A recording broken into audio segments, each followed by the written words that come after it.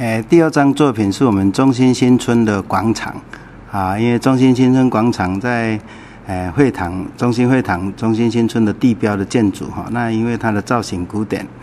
优美啊，但是堂前的广场却被常利用为做大型的旅游活动会场啊，包括风筝节、诶南头花卉博览会等活动都在这里举行。那这张作品利用假日的时候，哎，以下午的光影啊，用一个树的影子来当一个前景。那后面广场有一些放风筝的摊贩，那我们觉得在这里有可以自由的呃活动，让我们中心新村成了一个很好的游乐的场所。